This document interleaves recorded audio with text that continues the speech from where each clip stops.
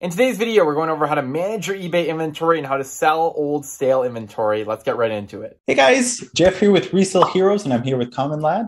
Hey guys, I'm Common Lad, and I am a reseller on eBay with my business partner Air Val. Yeah, so we're resellers on eBay too. I almost said YouTube.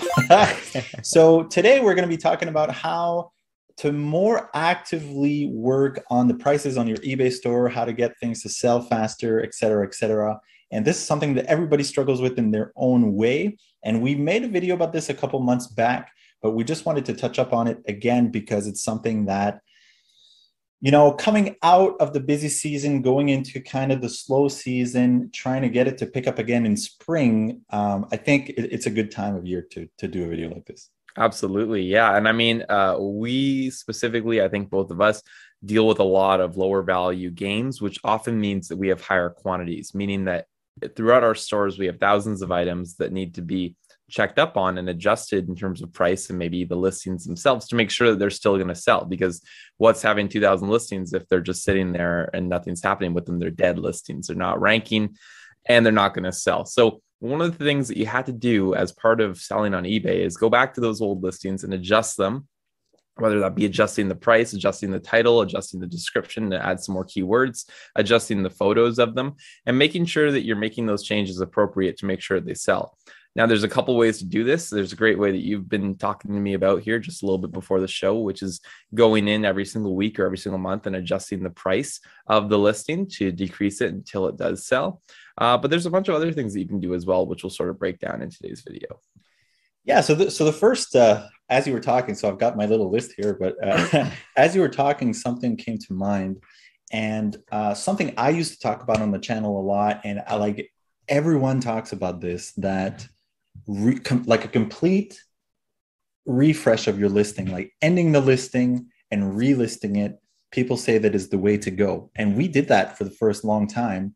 But then I was on a podcast with uh, Nurse Flipper, and she mentioned that she doesn't do that because you can't see the date that your listing was first made right so Absolutely. you might have a, an item that's two years old in your inventory but you you can't really remember when it was because if you're uh, unlisting it and relisting it every month you only see when it was last relisted and so uh, that's actually a fairly big deal because just at a glance, you can see, okay, what's really old here in my inventory, right? And I mean, if some people only have like 100 items or maybe 200 items, like it's not that big of a deal. But when you get into like a large amount of inventory, like in the thousands, it is important to know how old your stuff is. Like, because so part of our problem with our store, so we've got over 10,000 items, like probably 12 or 13,000 now. Um, we did have a lot of dead listings because we we sell a lot of bulk stuff, like you said, DVDs, CDs, and stuff like that. And I mean, when you first list an item with the best of intentions, you're trying to find a price where you squeeze out as much profit as possible, but at the same time, it's it's a price where someone's going to want to buy it. Yeah, and it doesn't sit. Right. But sometimes you're way off in the sense that you price it too low and it just sells. And yep. sometimes you're way off where for whatever reason you thought it was worth way more and it's not or maybe the market changed by the time that it was your turn to sell and so on and so forth. So now uh, we don't end the listings anymore. We just change the prices because we did learn that anytime that you change something on a listing it refreshes it to some degree. If you change the description a little bit if you change up the photos if you change the price if you have a sale on it or whatever all these things um, in the algorithm, which we're not going to go too too much into the details, but there's so many factors. But every little change on a listing gives it that little boost where uh, it's not necessarily necessary to completely remove the listing and start over because having that timestamp of when you first listed your item is pretty important. Absolutely. Yeah. So on our small store, when we had first started, we were doing that realist thing. And listen, it definitely does work and it does it revamp does. it. But to your point, I'd say you almost get the same result just from doing a modification in any sort of way of the listing. You're absolutely right to say the start date is one of the most important things because one of the things that we do on our video game store, our main store, is I'll go into our listings, I'll sort it by the start date, and I will just rip through and adjust Yes. the prices every single day until they sell. You'll see the first item's four years old, the second one's two years old, the third one's a year old, and then so forth. And, and so you go through and you you just you know you sell them for less than you bought them, whatever. You got to get rid of them because they've been sitting too long. Now, another strategy that we uh, use moving on from that is let's say that we have a bulk amount of games and some of them just never sell. You know, you got 50 copies of Kinect Adventures or you've got whatever, right? Like, you know, they just Yeah. sit forever. Sports Um. Yeah, exactly. Right. So, so what are you going to do with that stuff? Because, you know, you could sell for a dollar, you could sell for 50 cents. I could pay you a dollar, you still won't take it. So, what am I going to do with this thing? Uh, so another thing that we'll do is we'll sort by start date. We'll take the first 50 listings, the first 100 listings, whatever it is, delist them all, pull them all from inventory, take them all together, take a photo of them, list them as a bulk option, uh, and list them as a lot. And that will bring some value to them because although things might not be valuable on their own, when you put a whole bunch of them together, you can at least get some value from it. So that's another strategy that we use in terms of old listings. We'll take them, bulk them up, and we'll be able to get rid of them that way. And I think that's another important thing to look at. Yeah, so we're talking about a handful of games that everybody has and nobody wants. And so, uh, yeah, Kinect Adventures. So we have like, I don't know, 15 or 20 copies of Sports Champion for the PS3. So another thing, so so that that's a great uh, strategy. And another way that we've uh, tried to liquidate a little bit is that when you sell, Uh, so usually when we sell consoles, like video game consoles mm. like the Xbox or a PS3, we sell it with just the console and a controller and the cables. We don't usually bundle it up with games. And that's simply because selling games on their own, usually you're able to squeeze out a little more. But I mean, if you're looking at your shelf and you have games that never sell, what you can do is you can bundle them up. Like you could take one or two of those games, like those old sports games that aren't worth yeah, anything, whatever it is. or whatever the game is, and just add it into your bundle. Maybe charge a dollar or two more or whatever. But I mean, they're not selling anyway, so it adds value to like a bigger bundle that has value, and it will make it more likely to sell, even if on their own they're not worth anything, right? So it's it's really interesting in that sense. Uh, Yeah. I mean, I'll say like we've done that with Wii consoles and all these sort of things where Yeah. if you take a console and you have the exact same thing as somebody else on eBay for the exact same price, but you have two or three crappy games that just would not have sold otherwise, that's going to make your console chosen before theirs and is going to increase your sell through rate on those consoles exponentially. So it's a really cool thing. And like you say, bundling things up is, is really important in that sense as well.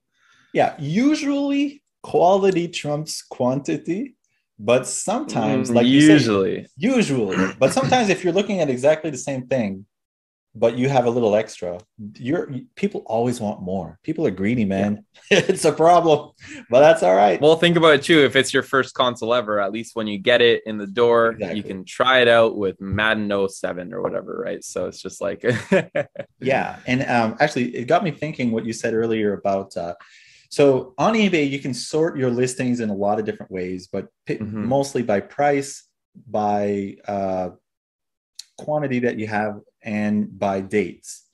Uh, so when when we so every week i try to tweak the store a little bit whether that means i add a new category and i organize it better or if it means i go play in the prices to help things sell better. So we have some items that are worth four or five hundred dollars like really rare games but most of our stuff is under $20 maybe like under $30 so i would say i use like two uh, different strategies for the high end stuff than for the bulk stuff. Yeah. But so for the bulk stuff, what I'll do is I'll do like you and I'll sort it by starting date. And then I'll select, uh, you can select in bulk up Yep. to 2,000 items at a time. And I mean, most people aren't going to have that much, but we do. So we'll select the 2,000 oldest games. And then um, we're going to go in uh, whatever it's called the bulk editing tool.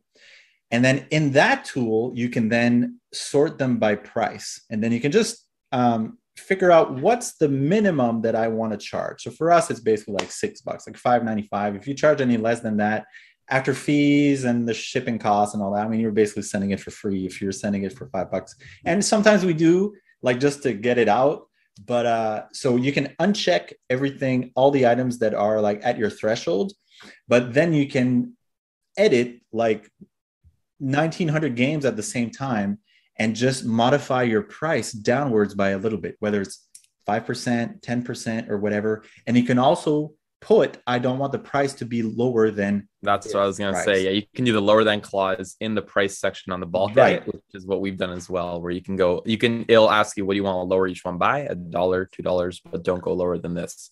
Yeah. And that's a really easy way to to modify them as well, just like you're saying. So yeah, and you can modify them by percentage or by dollar amount. right. The reason yep. I say to remove those ones that are already at your threshold is because say you have an item that's listed for five dollars and you say you don't want the price to be lower than six, it's actually going to increase the price. Oh, right. Yeah. Which uh, it's not always something that you want because um, if it's already not selling at five, it's not going to sell at six. But so that's how I've been um, navigating through reducing the price on 10,000 items just by a little bit. And you don't want to do that every week but like even if it's once a month when you see and that way you're you're modifying it by the oldest ones. Right. And so you don't want to do that with something that you just listed but like if no. something's been sitting there for six months or whatever that's that's a good way to do it.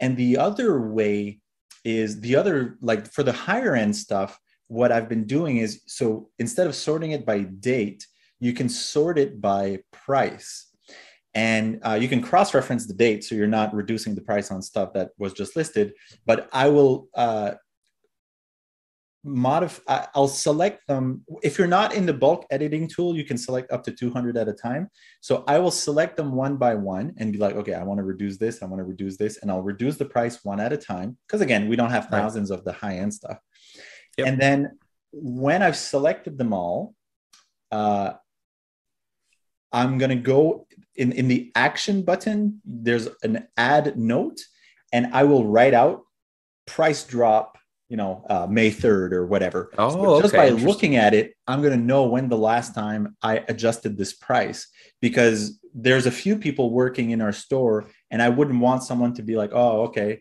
uh, I want to reduce this price, but it was reduced just yesterday. Right. So that's kind of a new thing that we've been doing.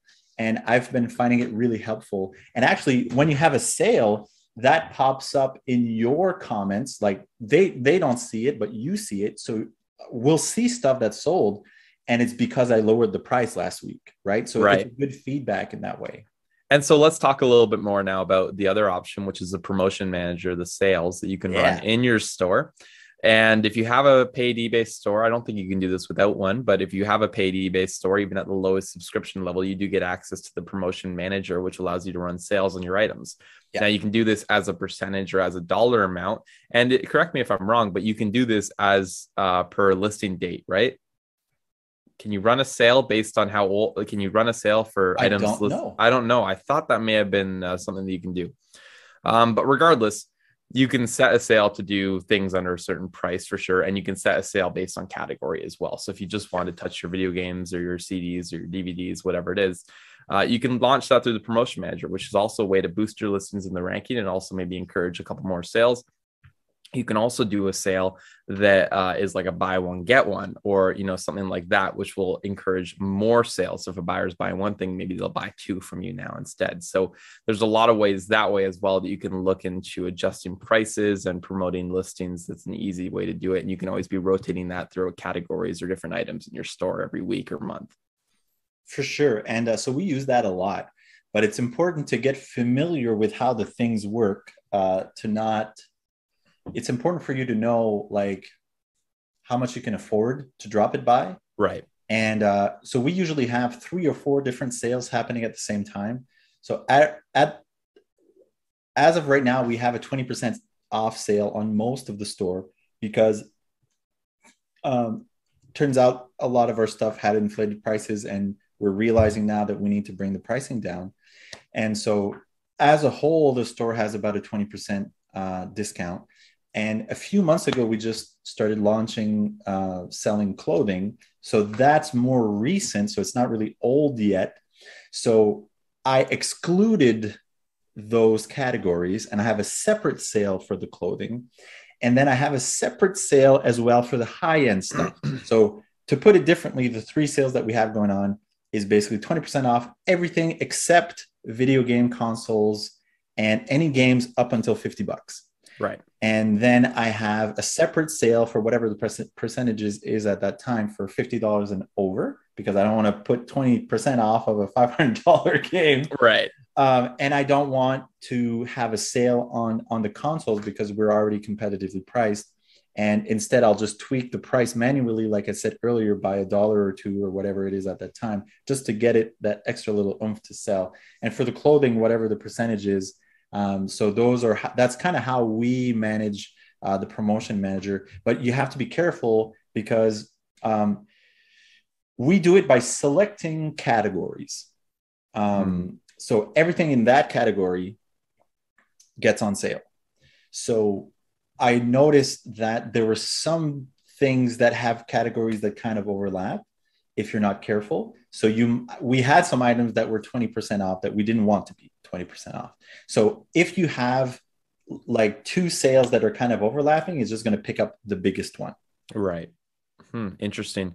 And and so there's another theory out there that involves people doing sales on their items yeah. all the time, no matter what. Which mm-hmm. is that I'm going to list this item for ten dollars, but I'm going to sell it for eight, and that was the actual list price that I wanted to be on. But I put it for ten because then it looks like I'm giving a better deal. Is there any sort of merit there or anything? For sure, for sure. So what we used to do is to have a sale run from Thursday to Monday, and then have it full price after that. Because when you have that uh, the buyer will see that it's only on sale for a certain amount of time. Right. Um, but now, I mean, we just have it on all the time, and that's been working for us too. But I mean, for for a typical store, I there is a psycho- psychological element to, to having, having just that. the sale on right. all the time, and having it on all the time means that you don't need to tinker with it; it's just always on. Uh, but I will say this: if you have a sale on and you modify a price uh, it's going to modify it off of the reduced price. Oh, okay. okay so let's say you have a $10 item, like you said, and it's 20% off. So it's now $8. Um, let's say um, you you do in your bulk thing that you want to drop it by $2. In your mind, you might think, I want it to be $8. $8 but it's actually going to go down to six. And also, if you modify the price manually, uh, let's say you you put it yourself to 795 this depending on the settings that you put in your sale the 20% off might kick in again so it might actually drop down to like six or whatever. Um, so just be aware of those things um, so that you're not dropping the price twice as much as you first thought. So sure. usually before i start touching prices i stop the sales. I stop the promotions and I, I give the the system time to basically go all the prices go back to normal. Then i do my changes and then i reinitiate the sale based on the pricing that i know that i wanted to put on. Right on. Yeah. And so like you said i, I really like the idea of, of search, sorting by high priced items. I'm just going back a few steps here because i think that's really neat in terms of not just worrying about the oldest stuff but let's say you have stuff that's more valuable that will bring in money right now that's stuff that you want to be dealing with and adjusting maybe re-researching and figuring out a good price for and yeah to your point with that with that low low price items and organizing it that way and sorting by that that's something that we do on our store and i think is a very valuable thing for anybody that has a large quantity of items let's maybe dive a little bit more into uh, the other things you can do to a listing. Let's say that you have a fairly priced listing, you've done the research on it, and it's still priced well, but for whatever reason, it's just not selling. Uh, one thing that I'll note is if you have items listed maybe before last year, they added uh, uh item specifics that are required. Mm. And before they added that, they weren't required. Now, if you have a listing and eBay will tell you this, you'll have a little red thing next to it saying that you're missing required item specifics that could be a big uh, problem for your old listings. So that's the first thing that I would go in and touch up is make sure that you have those required item specifics because I really do believe without them, eBay is not really showing your listing to anybody because that's required by their platform now. And then you can go ahead and adjust more item specifics on an item that will uh, tweak the uh, item that way. A title adjustment is also an important thing, especially if you're dealing with more obscure items. Maybe it's an antique, maybe it's something that's not so familiar in terms of a general search result adding different keywords or items and your or uh, titles into your title, uh, different words or whatever that relate to the item might be important in terms of getting it to a different audience, uh, as well as a slight modification of the description. And one of the most important things, in my opinion, is actually maybe adjusting your photo. If you don't have maybe a clear photo of the item, or maybe you want to photo it as a bundle of all the things that's going in versus just you start with the one photo, even moving photos around can sometimes be helpful in that sense. But just doing minor tweaks to your listing can be really important in terms of getting it to some new eyes and getting it ranking on eBay again.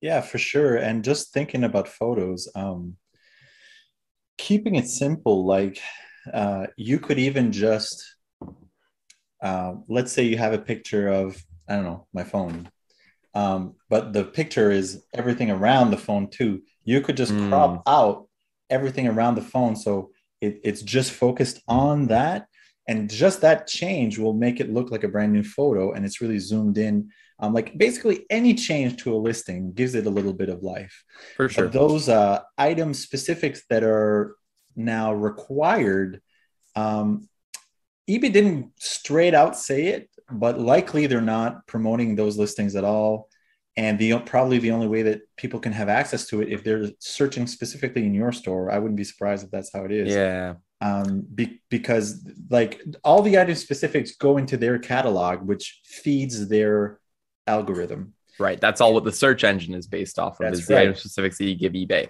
That's right. And you can go in your managed uh, listings or whatever the, the area where you see all your listings and you can uh, there's filters there and you can filter by which my which one of my uh, listings have uh, item specifics that are required and it'll just populate the list and you can just go through them one at a time. So when that happened we had thousands of listings. We had so many and we probably still have a few that we missed right? That are yeah just... yeah I, I i still have some every now and then when i'm doing so so whenever you want to make a change now it'll say you can't save unless you make this item. That's right. You have to do it. So, I mean, it forces us slowly to fix them all. But like, we had like, whew, I think it was four or 5,000 and like it could be something as simple as it, they want you to say if it's a cd or a dvd right some of them or, do them in bulk but or the video game title or the yeah, whatever exactly. right so yeah it's interesting yeah. Um okay another thing that you can do to old listings um promoted listings yeah. Some people don't use them at all. Nobody likes paying fees, and uh, having that increase of a few percent is not always fun. However, if it's an old item and a competitive item, so let's say we're talking about Kinect Adventures, and you want to be the one that sells the next copy of Kinect Adventures, not the yeah. next guy, maybe it's worth putting a little bit into the promoted listing, a few percent, get up there in the search results. And if it's an old item, maybe it's worth also putting that in to beat out a couple of the new items that are being listed. Yeah, and actually talking about fees, uh, they did recently increase, or they are increasing, or whatever, in June uh, with the new seller update. Um, so they used to be calculated that it was just a percentage based off on the value of the item. Yeah. But now it's it's uh, it's uses the same structure as all the other fees that they charge, which is basically the value of the item plus the shipping plus the tax, which is not cool, but that's no. that's the way they're doing it. But uh, promoted listings, uh, for the longest time, we were not using them, and now we have it on everything. Um, but we, for the most part, we only have one percent, which is the minimum. But that's going to make it so that occasionally you're going to get free traffic. Well, free traffic. You're going to get extra traffic that if it comes from a promoted listing source, you're going to pay an extra in our case 1% which is no big deal. But sometimes they recommend like 25% and 15% like that's a lot. Yeah, but like even if you just put your all your listings at a 1% promoted listings you will see an increase in traffic. You're not going to get as much extra traffic as someone who's charged who's uh, sacrificing 5% but you will get some extra ones. And like we almost instantly saw an increase in sales. And i, I just want to say also that even though all of our stores on promoted listings. Not all of our sales are, are from. No, absolutely. Yeah. So, and Yeah. That's what I was going to say. It's cool because you can see whether you're running a sale. You Yeah. can see what things have sold because of that sale. And whether you're running promoted listing, you can see things that have sold because of promoted listing. Yeah. And eBay will tell you, we're not really sure how it works. If, you know, eBay promotes a listing at the top of the page and the buyer buys it, that's when they count it as promoted listing. Or maybe it was somehow ranked using the promoted system and that's when they count it. But you're right. Only maybe a third or half of our sales actually showed that they were sold via promoted listing and the rest are still sold organically, which is neat. So you're not going to be paying an extra percent on everything. Yeah, so I think it has to do with uh, when you first search for something on eBay, it always uh, displays the best match. Right. And best match just means whoever eBay wants to put up there, which would probably be the promoted listings. So if you then go and change it to the lowest price, I think it basically just bypasses That cancels out. Yeah, yeah, yeah. but but the first one that you're gonna have like the first one that the visitor will see will probably be the promoted listing and then when they refine their search they're just gonna see whatever they're gonna see in the search but uh, i think it has a lot to do with that Yeah, for sure. Interesting. Yeah. So, I mean, those are some really good strategies. I'm not sure if you have any other ideas in terms of, you know, besides adjusting the listing, the sale price of the item, doing some sort of sale via your uh, promotion manager on eBay or promoting the listing. Is that pretty much it? Or taking them down and bulk selling them up? yeah uh, so i mean the only other thing i would say we've probably said it before on the stream but it, it would be um, possibly cross listing it on facebook um, Sure, or yep. kijiji or whatever craigslist whatever uh, uh, classified ad Poshmark for clothing, which I mean could be a little more tricky, but uh, you know, you do have to watch those things. But yeah, Yeah. absolutely. but for the stuff that's not selling, um, we found that there's certain things that don't necessarily sell as fast on Facebook, but you can sell for the same amount or more than you would on eBay, but you don't have to pay the shipping fee and you don't have to pay all the fees.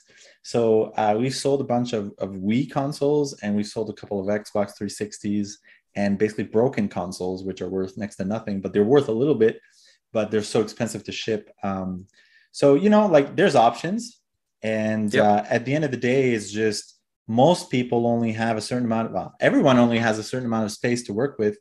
And if something is taking space on your shelf, that makes it so that you can't put something else there that would sell indirectly you could say that it's costing you money in that yeah sense. absolutely and it's costing you what you have in it which is always you know you want to get that back. Because it's about turnovers and Yeah. reinvestments and that's how you grow right? So i mean it's, it's an important thing to look at.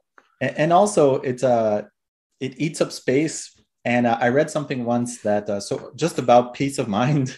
I, I read something once that imagine that every item that you have around around you in a room made a small noise mentally right how noisy would your mind be?